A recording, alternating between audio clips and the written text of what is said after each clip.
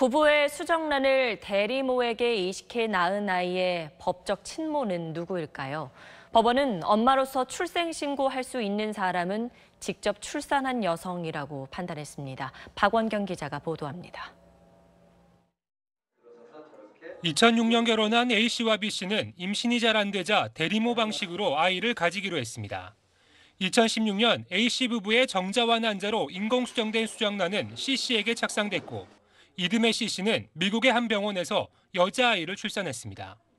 병원은 C씨를 아이의 엄마로 기재한 출생 증명서를 발급했습니다. A씨는 서울 종로구청에 출생 신고를 하면서 출생 증명서와 함께 엄마란에 B씨를 기재한 신고서를 제출했는데 구청은 신고 접수를 거부했습니다. 신고서에 적힌 엄마 이름과 출생증명서에 적힌 엄마 이름이 다르다는 이유에서였습니다.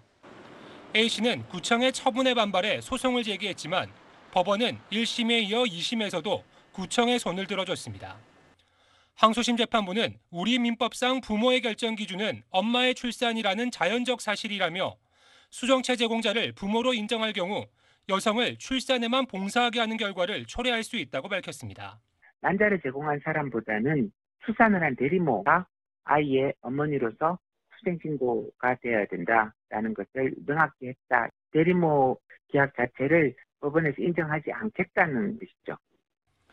이번 판결이 확정되면 A씨 부부는 C씨로부터 아이를 입양하는 방식으로만 아이를 호적에 올릴 수 있게 됩니다.